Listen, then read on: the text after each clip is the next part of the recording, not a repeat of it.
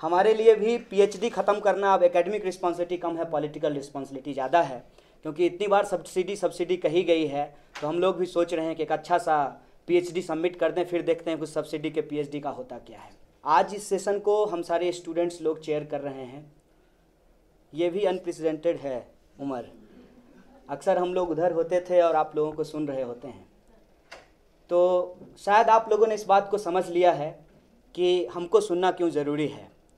क्योंकि हमारे ऊपर जो हमला हो रहा है, शायद हमको सुनने के बाद इस बात का पता लगाया जा सके कि आगे हम लोगों को करना क्या है और आइडिया ऑफ़ इंडिया में जोड़ना क्या है। क्योंकि इस देश में दो तरफा लड़ाई है।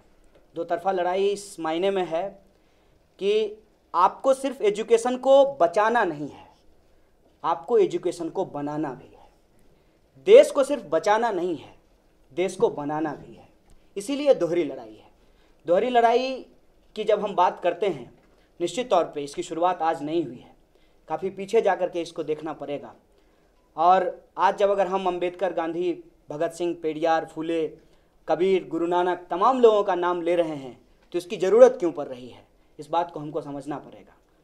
और जहाँ तक मेरी समझदारी है तो मैं ये समझ पा रहा हूँ कि दुष्यंत ने एक बात कही है, कहाँ तो तय था चिरागा हर एक घर के लिए कहाँ चिराग मयसर नहीं शहर के लिए। जो लोकतंत्र, जो संविधान हम आज़ादी के बाद बनाए थे, जिसमें हमने बहुत सारे सपने देखे थे, बहुत सारे मूल्य हम लोगों ने अपनाए थे उस संविधान के अंदर, आज वही खतरे में है। आज उसी को बचाना एक चुनौती बन गई है तो उससे आगे जा कर के हम क्या करेंगे, शायद इसको सोच नहीं पा रहे हैं। लेकिन सही कहा, ब्रेक और कंटिन्यूएशन को हमको एक साथ देखना पड़ेगा। और उस ब्रेक और कंटिन्यूएशन को अगर हम एक साथ देखते हैं तो हम इस बात को शायद आज पूरी ईमानदारी से कह सकते हैं कि बुर्जुआ डेमोक्रेसी ही बचने वाली नहीं है। सोशलिस्ट डेमोक्रेसी का तो दूर दूर तक पता नहीं है। बुर्जुआ डेमोक्रेसी को ही खुद बुर्जुआजी ख़त्म करना चाहती है। खुद कैपिटलिज्म जो है, जिस डेमोक्रेसी को लेकर के आया था, उस डेमोक्रेसी को वो किल करना चाहता है। तो उसके बियॉन्ड जा कर के सोशलिस्ट डेमोक्रेसी का इमेजिनेशन क्या होगा? इस बात को शायद हम सोच नहीं पा रहे हैं। और इस बात को हम तब भी नहीं सोच पा रहे थे जब ये सिचुएशन आज से 20 साल 30 साल पहले था देश के अंदर, दुनिया के अंदर। उस वक्त भी शायद इसी तरीके का सेमिनार हुआ होगा। उस वक्त भी कुछ लोग आकर के बोले होंगे और कुछ लोग आकर के सुने होंगे, लेकिन इस बात का अंदाज़ा नहीं लगा पाए होंगे कि स्ट्रेटजी को बनाने में डायलेक्टिकली हम लोग हमेशा फेल होते हैं। हम ये तय नहीं कर पाते हैं कि किससे पहले लड़ना है और किससे बाद में लड़ना है। कौन बड़ा दुश्मन है और कौन छोटा दुश्मन है? छोटे दुश्मनों के साथ दोस्ती करके कैसे बड़े दुश्मन को हराया जा सकता है? इस स्ट्रेटजी में हम अक्सर फेल कर जाते हैं। और जो हमारा शुद्धतावाद है हंड्रेड परसेंट प्योर ये हमको बार बार फंसाता है। हम यहाँ पे बैठे हुए लोग हैं, एक ही बात कर रहे हैं, लगभग। लेकिन पॉलिटिकली हम एक दूसरे से डिफरेंस रखते हैं। हम लोग अलग अलग संगठन के लोग हैं। मार्क्सिज्म को लेकर के अलग अलग समझदारी है। अगर ऐसा नहीं होता तो इस देश के अंदर सत्तर से ज़्यादा कम्युनिस्ट पार्टियाँ नहीं होती। इस देश के अंदर, इस दुनिया के अंदर, पता नहीं कितने तरीके का मार्क्सवाद लिखा गया है। आज हम ऐसे समय में हैं कि अपने डिफरेंसेज और ब्रैकेट को कम ध्यान में रखें।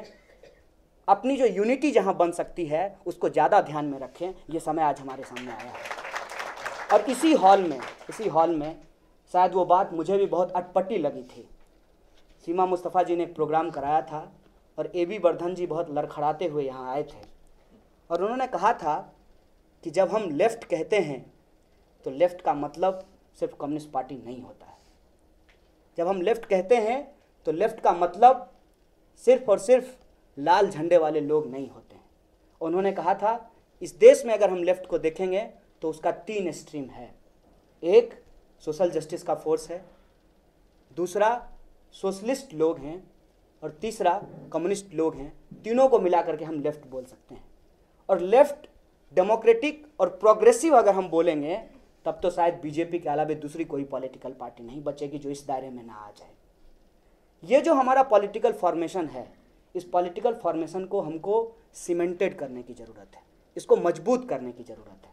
अगर हम इसको मज़बूत नहीं करेंगे तो शायद जो है हमारे पास, हम उसको भी नहीं बचा पाएँगे और इसको आगे ले जाकर बेहतर बनाने का जो हमारा सपना है, वो सपना ही रह जाएगा। ये परिस्थिति, ये चुनौती आज हमारे सामने है।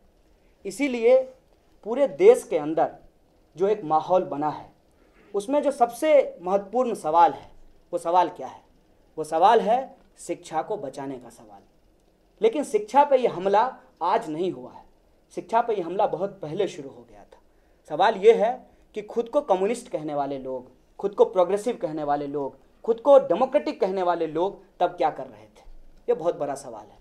पूरे देश के अंदर जब सरस्वती शिशु विद्या मंदिर खोला जा रहा था और बच्चे को सूर्य नमस्कार के साथ अंधविश्वासी बनाया जा रहा था, तब साइंटिफिक टेम्परामेंट करने वाले लोग, रहने वाले लोग क्या कर रहे थे?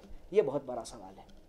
कभी भी इस देश के अंदर जो सामाजिक आंदोलन हुआ, जो राजनीतिक आंदोलन हुआ और जो राजनीतिक पार्टियाँ अपने आप को प्रोग्रेसिव कहती हैं, उन्होंने कभी भी शिक्षा को एक राजनीतिक सवाल नहीं बनाया। 1986 में जब नई शिक्षा नीति आ रही थी, उसी दौरान बिहार के अंदर एक किताब लिखी गई एक वाइस चांसलर के द्वारा। बिहार में ढहते विश्वविद्यालय, हिंदी में किताब लिखी गई थी। ये बात एटीज की है। उस वक्त स्टेट यूनिवर्सिटी को बर्बाद किया जा रहा था। तब सेंट्रल यूनिवर्सिटी में जो पढ़ने वाले लोग थे, उनको ध्यान नहीं आया कि आज स्टेट यूनिवर्सिटी की बारी है, कल सेंट्रल यूनिवर्सिटीज की बारी आएगी। धीरे धीरे करके इस देश के अंदर एजुकेशन को बर्बाद किया गया है। और एजुकेशन को बर्बाद इसलिए किया गया है क्योंकि एजुकेशन के थ्रू ही आप आइडिया ऑफ़ इंडिया को समझ पाते हैं। और आइडिया ऑफ़ इंडिया में कुछ बुनियादी चीज़ें हैं आज हमारे सामने जिसको हमको समझना पड़ता आप कहते हैं, हम भारत के लोग हैं। वसुधैव कुटुम्बकम बहुत अच्छी बात है। वसुधैव कुटुंबकम। पर किससे लड़ने के लिए आप छः हज़ार करोड़ में लड़ाकू विमान खरीद कर लाए हैं? किससे युद्ध करना है? भारतीय संस्कृति का गुणगान गा रहे हैं, भारतीय परंपरा का गुणगान कर रहे हैं तो भारत में तो सहनशीलता रही है। मेल्टिंग पॉट ऑफ़ रेस कहा जाता है हिंदुस्तान को। दुनिया भर से लोग यहाँ आए और यहाँ की वादियों में, यहाँ के भूगोल में, यहाँ की संस्कृति में रच बस गए। यहाँ से वो वापस नहीं गए। अंग्रेज़ों को अगर छोड़ दिया जाए तो। तो फिर ये वसुधैव कुटुंबकम अगर हमारा है तो छः हज़ार करोड़ में टैंक क्यों खरीद रहे हैं? लड़ाकू विमान क्यों खरीद रहे हैं? या तो लड़ाकू विमान का जो आइडिया ऑफ़ इंडिया है कि हम दुनिया का सबसे ताकतवर देश बनेंगे, ये झूठा है? या फिर वसुधैव कुटुंबकम का जो आइडिया ऑफ़ इंडिया है, वो झूठा है? और हमको लगता है कि वसुधैव कुटुंबकम का आइडिया ऑफ़ इंडिया सच है, ये छः हज़ार करोड़ में जो टैंक खरीदा जा रहा है, ये आइडिया ऑफ़ इंडिया झूठा है। और इस आइडिया ऑफ़ इंडिया के झूठ का पर्दाफाश हम इस तरीके से कर सकते हैं कि आप निन्यानवे करोड़ रुपए का जो बजट है, जिसमें स्टूडेंट्स को नॉन नेट फेलोशिप दिया जाता है पूरे देश के अंदर, वो देने के लिए आपके पास पैसा नहीं है, लेकिन छः हज़ार करोड़ रुपए में टैंक खरीदने के लिए आपके पास पैसा है। हम इस आइडिया ऑफ़ इंडिया को रिजेक्ट करते हैं, क्योंकि हमें ये इंडिया नहीं चाहिए। हमें वो इंडिया चाहिए, जिसके संविधान की पहली लाइन है, हम भारत के लोग। अगर उस छः हज़ार करोड़ के टैंक से हम भारत के लोगों का पेट नहीं भरता है, हमको एक आइडिया ऑफ़ इंडिया पसंद नहीं है, हमको ये आइडिया ऑफ़ इंडिया नहीं चाहिए। आज हमारे सामने जो सबसे बड़ा सवाल है, वो है शिक्षा का सवाल। और सिर्फ़ शिक्षा का सवाल नहीं है, तीन परसेंट लोग अगर आज हायर एजुकेशन में हैं, वो पढ़ लेने के बाद भी उनको नौकरी नहीं मिलती है। मैं जेएनयू की ही बात करता हूँ।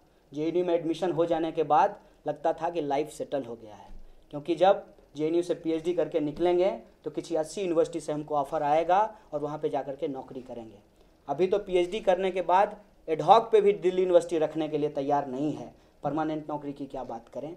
तो शिक्षा के साथ साथ हमको रोज़गार के सवाल को भी एक इंपॉर्टेंट सवाल बनाना पड़ेगा। और सवाल ये है कि पहले तो सबको पढ़ाओ। और ये बात कोई गैर कानूनी गैर संवैधानिक और एंटी नेशनल बात नहीं। ये एंटी नेशनल बात इसलिए नहीं है क्योंकि बाबा साहब भीमराव अंबेडकर ने एक संविधान लिखा और उस संविधान में कहा कि अंबानी का बच्चा और जो फुटपाथ के पास जूता सिल रहा होता है, मोची उसका बच्चा दोनों बराबर है। अगर दोनों बराबर है तो दोनों के अधिकार को बराबर करो। या तो उसके बच्चे को शीशे वाले स्कूल में पहुंचाओ, या अंबानी के बच्चे को बोरा वाले स्कूल में लेकर के आ जाओ। हम फंड का सवाल नहीं उठाएँगे। हम फंड का सवाल इसलिए नहीं उठाएँगे क्योंकि फंड और आंकड़ों में हम फंसना नहीं चाहते हैं। हमारे पास एक पॉलिटिकल विजन है। हम सिंपल सी बात कहना चाहते हैं। या तो सबको रसगुल्ला खिलाइए, अगर आपके पास पैसा है। अगर आपके पास पैसा नहीं है तो सबको सूखी रोटी खिलाइए। इसमें क्या दिक्कत है? आप इस देश के बजट का इस्तेमाल क्या करते हैं, उसको देखने की ज़रूरत है।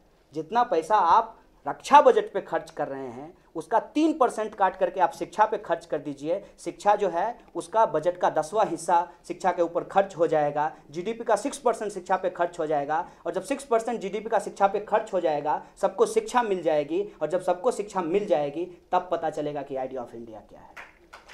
ये आइडिया ऑफ़ इंडिया कुछ लोग शिक्षा पा करके, कुछ लोग जो प्रिविलेज लोग हैं, जिनके पास एजुकेशन है, वो तय नहीं करेंगे। आइडिया ऑफ़ इंडिया इस देश के अंदर जो सुदूर देहात में बैठा हुआ इंसान है जिसके पास आज तक बिजली नहीं पहुँची लेकिन कोका कोला पहुँच गया वो लोग तय करेंगे कि आइडिया ऑफ़ इंडिया क्या है। हम लोग ऐसे समय में हैं जहाँ बार बार हमको भुलाने की और भटकाने की कोशिश की जाती है। बस अं-, अंतिम बात बोलते अपनी बात को ख़त्म करूँगा कि विद्यार्थियों के ऊपर हमला क्यों है? विद्यार्थियों के ऊपर हमला ये है कि हमारे यहाँ एक बहुत ही पुराना चलन है कि जब कोई महिला विधवा हो जाती थी उसके हिस्से की जो ज़मीन होता था, उसको कब्जा करने पे जो ताकतवर उसके परिवार के लोग होते थे, उसकी नज़र रहती थी। तो उसको वो कब्जा कैसे करते? तो उस महिला को डाइन बता देते थे। जब महिला को डाइन बता दिया तो उसके ऊपर अब कुछ भी अत्याचार होगा तो पूरे सोसाइटी की सिंपैथी उसके साथ नहीं होती थी। इतने में उसका देवर जो है, उसके साथ दुष्कर्म भी करता था। और जब भी वो बोलती थी तो लोगों को यह लगता था कि ये बदचलन है कुछ भी बोलती है। आज जे के साथ भी कुछ उस विधवा महिला वाली स्थिति पैदा करने की कोशिश की गई है। और ये इसलिए किया गया है कि आपको पॉपुलर परसेप्शन के अगेंस्ट ले जाकर के खड़ा कर दिया जाएगा। पॉपुलर परसेप्शन के अगेंस्ट ले जाकर के इसलिए खड़ा कर दिया जाएगा ताकि आपके आंदोलन को डिलेजिटिमेट कर दिया जा सके। आप कोई भी सवाल उठाएँ तो उस सवाल के साथ आम जनता कनेक्ट नहीं कर पाए। इसीलिए इतनी बड़ी कॉन्स्पिरेसी की गई है। और विद्यार्थियों को निशाना क्यों बनाया गया है?